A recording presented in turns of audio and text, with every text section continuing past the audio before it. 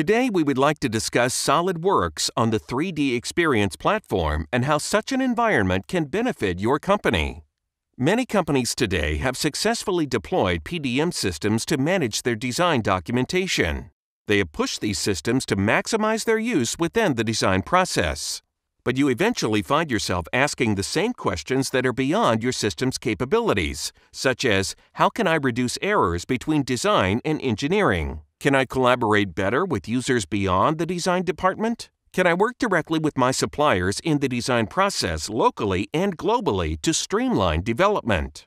Can I leverage enterprise IPs such as material compliance, requirements, and project management within my design process? If your answer is yes to any of these questions or questions like them, then you should look beyond PDM to a product lifecycle management system.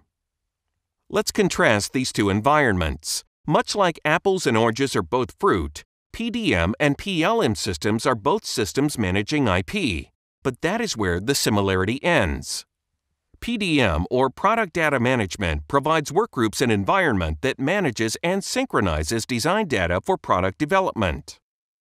It extends the reach of product design IP into engineering and manufacturing collaboration, as well as the security of design IP. PLM, or Product Lifecycle Management, provides an environment that manages the product produced by an enterprise where the focus of the system is on the items or parts and resulting BOM structure required to define the product. This discussion so far has been at a fairly high level, so we will work our way back down. Let's talk about working with ENOVIA as a designer in SolidWorks.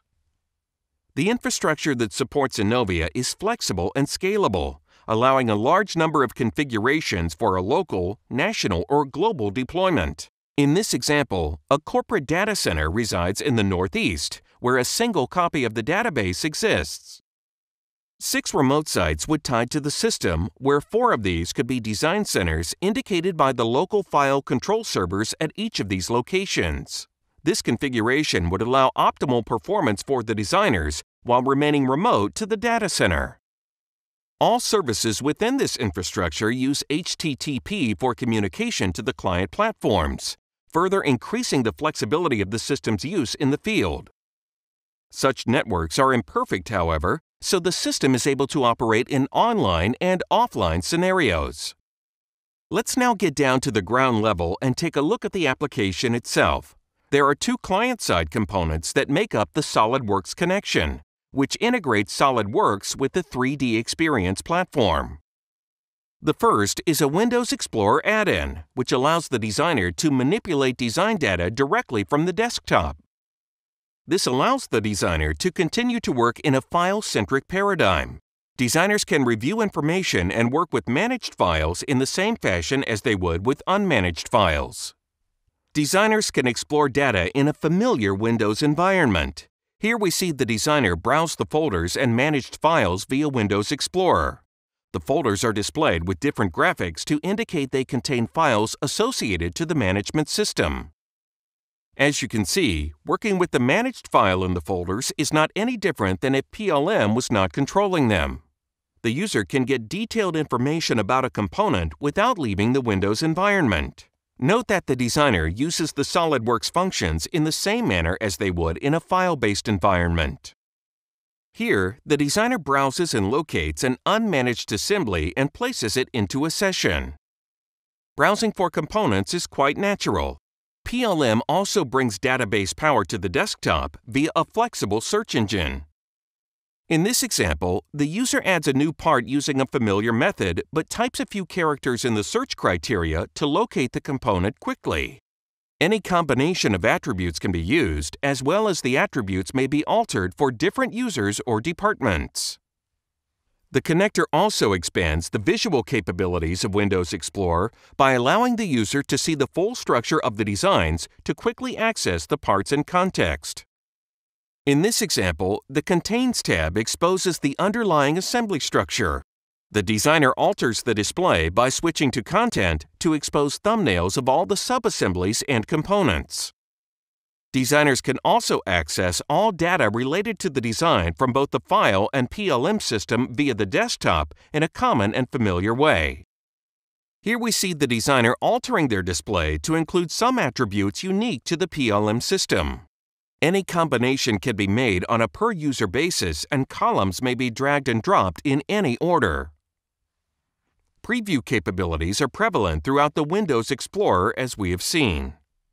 As we saw earlier, the structure can be fully exposed. The Explorer window also incorporates the familiar e-drawing viewer with all the functionality the designer has become accustomed to directly in the window. Preview capabilities extend beyond Windows into the web client, where enterprise users can explore any type of decision design data with a single viewing application. This eliminates the need for enterprise users unfamiliar with a particular CAD viewing solution to master multiple viewers for different types of data. The second client component of the SOLIDWORKS connector is embedded directly within the SOLIDWORKS application. Since this product was developed by SOLIDWORKS R&D, they utilized our existing and successful EPDM application as the basis for this new tool development. You have already noted the similarities. Commands are available in multiple locations in the interface, so that commands can be available regardless of which pieces of the interface the designer turns off. Great effort has also been made to limit the intrusion of the management system into the designer's environment. Only those PLM commands that are pertinent to a designer are made available. Looking at the command bar, we note the usual check-in, check-out commands. Additional commands such as show card, history, and explore in ENOVIA, round out the basic functions. As noted in prior examples, ENOVIA seeks to minimize PLM overhead within the design process. In the process of design data, it is necessary to quickly determine information about the design components without leaving the design environment. The connector provides the functionality to access and load any prior version of a design, as well as review data on the design in a session. The designer may also review the history of the design, all this is possible without leaving SOLIDWORKS. The connector also includes more advanced functionality that builds on your IP by leveraging knowledge from within the PLM system. The copy structure command is a good example. Here, the designer can select an existing assembly and use it to create a derivative design. The designer simply selects those components they wish to make copies of in the structure and builds an entirely new assembly reusing instances of prior components. Once selections are made, the user can use a number of different renaming features provided by the tool to quickly establish new names for the components. Here, a prefix is being created for all the new derivative components. Once the naming has been established, the designer can select a destination folder for the new components and complete function. Here, we see three new components that were created. These have been linked to the existing managed components that were used from the original assembly. Opening the new assembly into session, the new unmanaged components are noted and the designer may begin their changes. SOLIDWORKS data can also be organized with other types of files in the same folder. Here, the designer opens a separate Windows Explorer session and drags and drops some additional files into the folder with some existing SOLIDWORKS components and checks them indirectly from the SOLIDWORKS add-in. Let's wrap up with a quick overview of the platform that supports the SOLIDWORKS connector as well as all the other enterprise-level applications. This functionality connects you to the enterprise via a common environment called the 3D Experience Platform which focuses on leveraging all value in your enterprise into the design process as well as bringing IP to all users and decision makers. The 3D Experience platform does not stop here as it reaches into many other peer disciplines within the enterprise, such as simulation and business intelligence. Thus, it is a business experience platform that provides software solutions across every organization in your company, from marketing to engineering to sales, to help you create differentiating consumer experiences. Based on the value of running such a platform, let's summarize some of the values in using the Enovia connector of SOLIDWORKS to drive your design process. We saw that core product management capabilities can open the door to more extensive PLM tools directly from the design application. We saw that efficient and immersive CAD data management is accessible from anywhere there is a Wi Fi connection.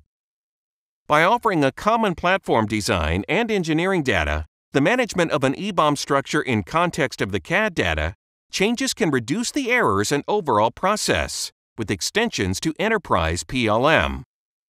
Building on this last value, we can see where such a tight relationship between design and engineering can further promote a design to configure mentality in design due to direct BOM relationship. Thank you for your time, and we hope this short presentation gave you some insight into the value of designing on a true PLM platform. Since we only scratched the surface, please feel free to contact us for further information and more detailed presentations on any specific facet of the SOLIDWORKS connector, as well as all related applications available on the 3D platform.